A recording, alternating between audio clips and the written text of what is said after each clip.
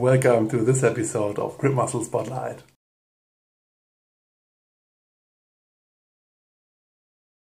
Hey everyone, my name is Tykato and thank you so much for the support in the last video. I got almost 100 subscribers from my first video.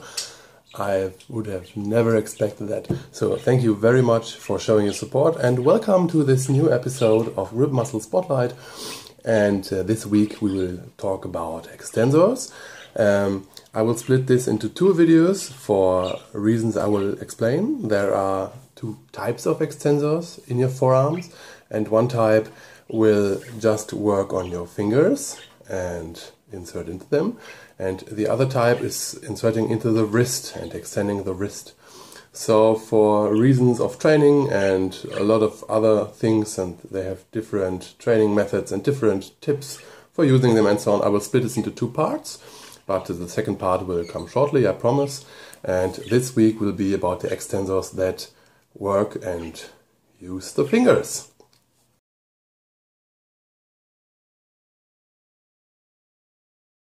So let's speak about the basic function of the extensors, which is really easily explained. If you see my hands like this, I extend the fingers, including the thumb. All five fingers have their extensors. This is the motion they do. This. Or even with a closed hand, this. So, before we talk about the basic anatomy, um, the four fingers have different extensor muscles than the thumb. So we will talk about the four fingers first, and then we'll talk about the thumb.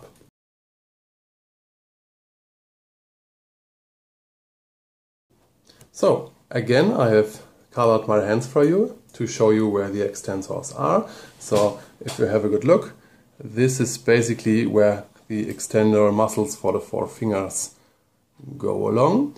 But uh, first of all, let's talk about how to find them.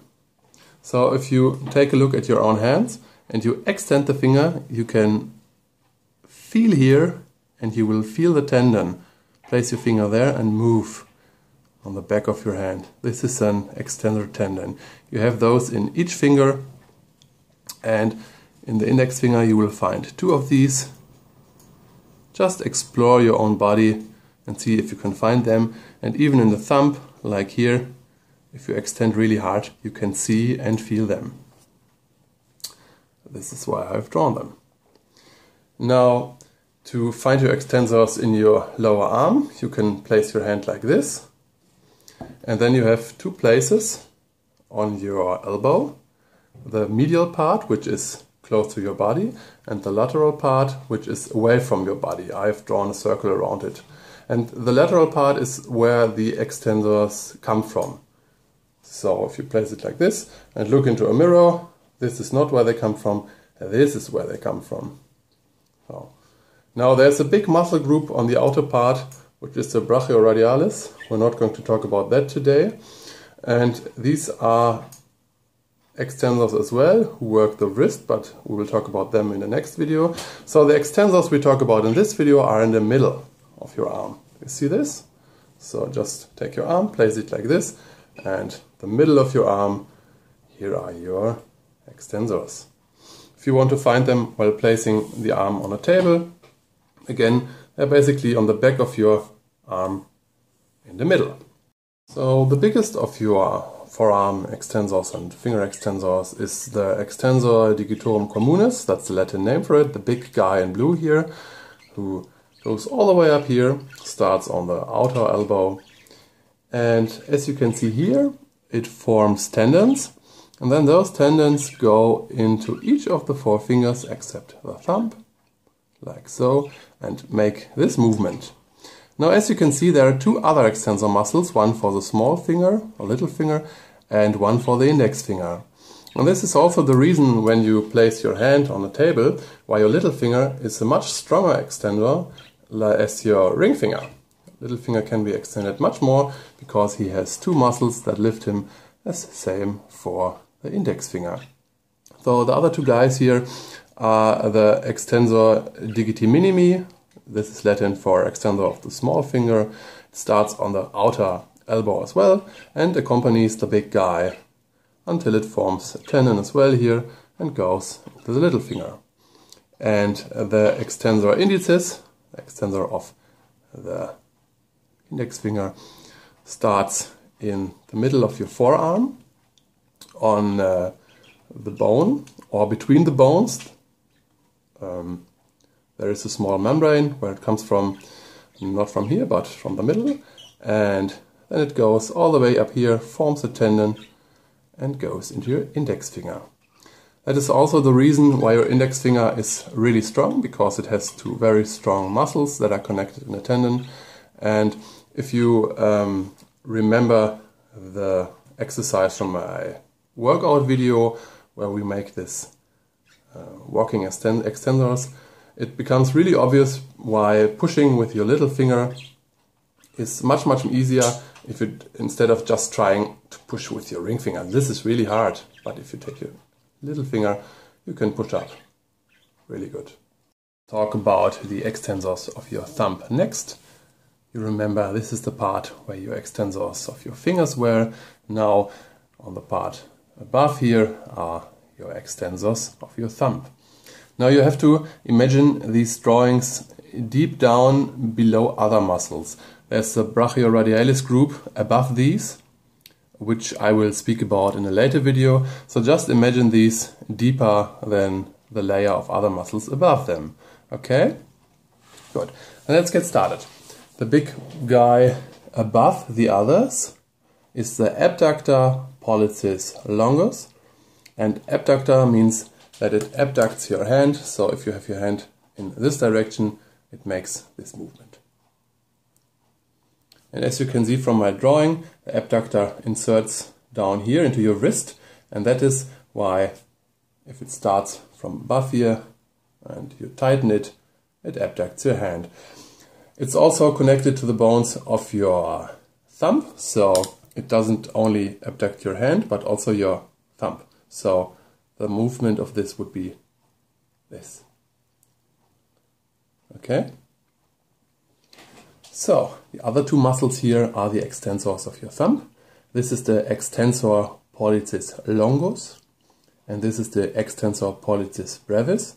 And it's basically just Latin for long extensor of your thumb and short extensor of your thumb. Brevis is short, longus is long. And what these two do, let's follow them along. They go up here. The long one is longer than the other, obviously, and it goes into the dip joint of your thumb. So what it does, it extends your thumb in a straight motion, like this, straight extension. And the short one, it inserts into your MCP joint of your thumb. So it also extends the thumb, but you don't need a straight thumb for extension. Can basically just do this movement because it goes here.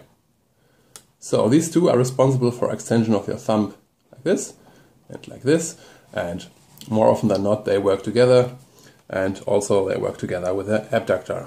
So in a motion like this or if you try to make your thumbs up all of them are engaged. One last thing I want to encourage you about is explore your hand and try to find these tendons and try to find them in the motion that I explained to you because exploring your hand and your body will help you understanding the functions of them.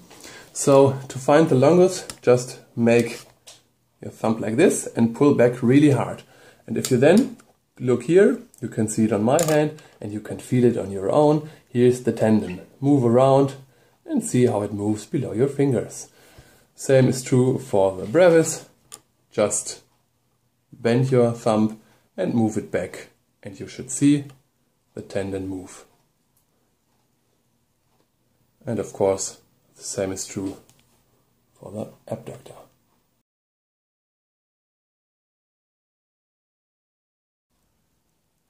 You are using your extensor muscles to point at something, like so. It's also used for everyone's favorite hand gesture. I'm so sorry for showing this to you. You also use it for shoving stuff away, like these nasty water bottles. And if you turn pages in your favorite book, you use your extensor muscles. I've prepared this for you. Now you also use the extensor muscles when thumbs up or when giving a pim slap in this totally not staged action video. Okay, now for the exercises. If you are doing grip sports or weightlifting or calisthenics or any other sport like climbing where you do a lot of gripping and a lot of flexor work, it is very important that you train your extensors as well. You can imagine this as a balance because for everything you grip, you want to extend your fingers again and loosen the grip. Now, if you only train flexors all the time, your hands will be super strong at gripping, but there is a muscle imbalance because your extensors are weak. now imagine grabbing something, but you're too weak to let go. that's not the case, but um, if you don't train your extensors, you will get pain in the tendons at some point in your training. So it's very, very important that you see the two of them as a balance and try to hold a balance between extensors and flexors. Then you will not get injured and then you will have a healthy forearm. So train these equally and um, especially if you've never trained extensors before, I recommend that you start today with the exercises I will show you later in this video.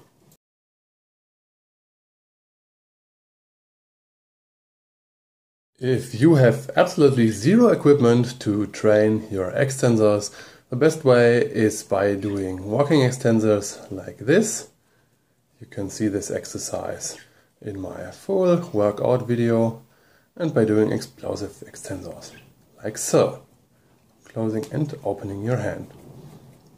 The downside of this movement is that you don't train your thumb as good as you could, and that's why I think extensor bands are superior exercise or training your extensors, but we look at a few other ways to train them as well and have fun.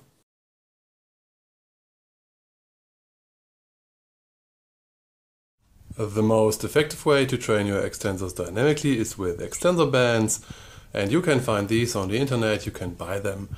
They're basically just rubber bands in different resistance strengths. So red is the hardest and white is the lowest. But you can also just use regular rubber bands you can buy in your uh, local shopping mall. There are different companies who produce them um, and I've tried several and they are all equally good. So just go for what is best in your country. Easiest way to use the extensor bands if you had surgery or you are in rehab and have extensor problems is by taking the lowest resistance band like the white one and you place it around your fingertips. And before we talk about training with them dynamically, I want to show you a good rehab exercise for your fingers. So you just leave them around your fingers and now you lift odd objects in your household, like this cup, place them somewhere, extend your fingers again and take something else.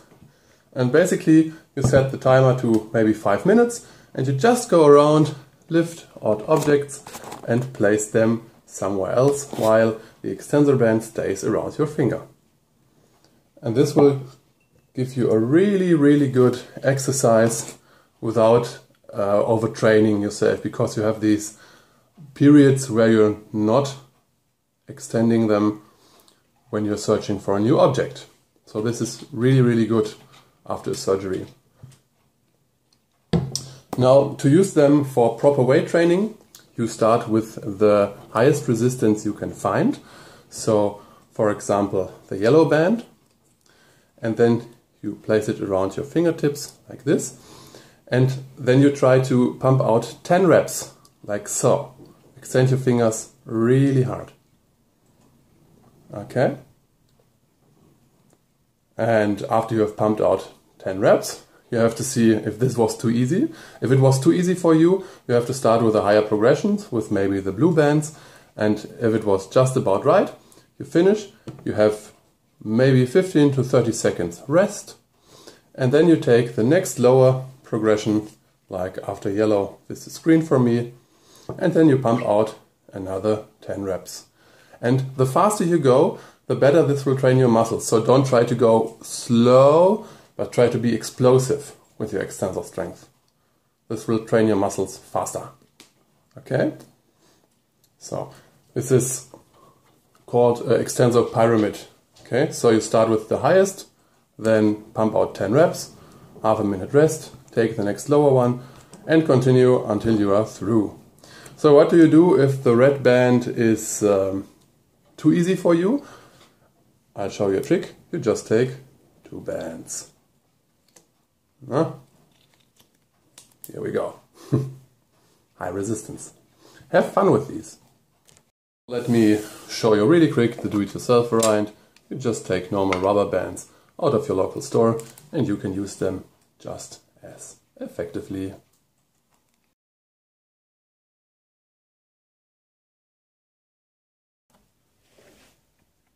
Holding to a pull-up bar in a chin-up grip is already a good way to train your extensors to an extent, but a better way is to shift them like so and this can be done if you have a rotating bar in a climbing gym, for example.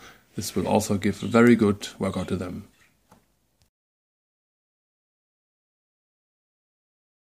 If you have no extensor bands and no pull-up bar, a backpack is a good alternative to train your extensors and I'll show you how. You just pack the backpack with a bottle of water or with dumbbells or any other weights if you have them, but let's suppose you have none. You just take a bottle of water or two or three, depending on your strength, or none if you're very weak, and put them in the backpack. Now you close the backpack, and most backpacks have this small handle up here. And you just shove your fingers below this with your palm facing down and thumb as well, and then just lift it and hold for as long as you can. If you can hold this 30 seconds, you need more weight. So once you achieve 30 seconds, increase the weight until you have to give up below 30 seconds. This is a very good extensor training. Show you a close-up on how this looks. Fingers under the handle and just lift. You can also attach your elbow to your body, so it's not an upper body strength exercise, but really an extensor exercise.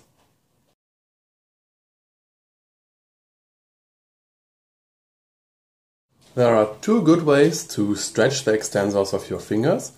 And the first one is you extend your hand, make sure to um, lock out your elbow like this, and your palm is facing to your body like this. And then you grab the whole fingers, including the thumb, with the other hand like this, grab really hard, and then just pull your hand to your body. And you should feel a really good stretch in the whole lower arm when you do this, like so. And make sure to lock out your elbow. Not like this, this is the correct form. And hold this for up to 30 seconds. Now the second way to train them is uh, by placing the back of your hand on a table like this, like so. Palm is facing upwards. Elbow is locked out again. You can do this with both hands and then just lean back with the upper body. Just slightly lean back. You can do this statically by holding or you can do this dynamically by going back and forth. And this is a really, really intense stretch for your extensors. So make sure to go slow on this one so that you will not injure yourself. And hold this again for up to 30 seconds or if you're doing it dynamically, do 10 reps and then you can, if you want, switch the direction like this or even doing it to the front like this. This week's episode of Grip Muscle Spotlight is at an end and thank you very very much for watching, for subscribing to my channel if you haven't yet, please consider it. It would be very much appreciated by me. And next time we'll talk about extensors again, but about the extensors of the wrist. These guys. You need them for many, many things. So, looking forward to the next episode and have a great day. Goodbye.